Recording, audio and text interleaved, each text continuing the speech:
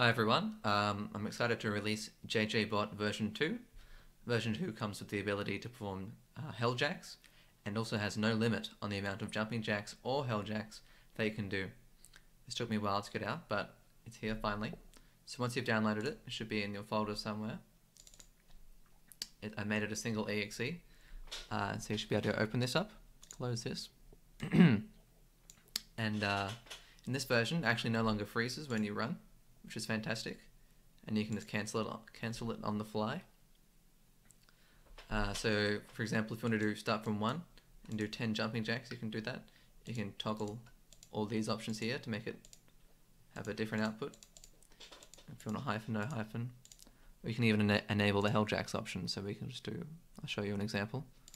So you have a three second delay before it begins. I have no chat bubble here, but you should be able to see in the top left of my chat that it's working as per the settings we gave it. Yeah, and if you want to stop all of a sudden, that's fine. You can just press cancel. And then if you want to start again from 2, or maybe 3 because we just did 2, it's no problem. Just press start.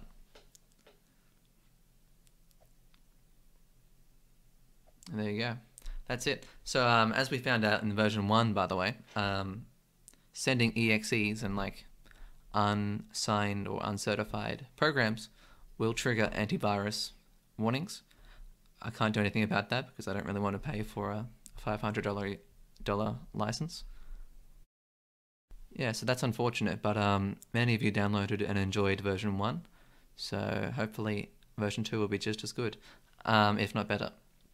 Feel free to support me, by the way, by joining my Roblox group and, you know, buying those Roblox clothes. And uh, have a good day.